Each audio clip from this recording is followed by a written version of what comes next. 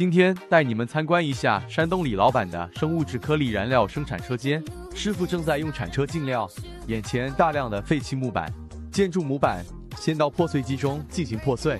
这台设备破碎时产能达八吨，再传送到粉碎机中进行粉碎，出来直接就是锯末。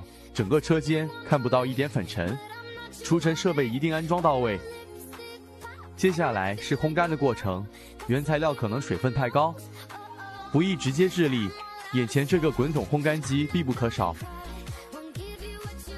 过多的水分或者水分太少都会影响到颗粒成型。最后就是颗粒机，通过螺旋输送将锯末送到颗粒机挤压成型。眼前颗粒机为五八零型最新一代，一台设备实产两吨。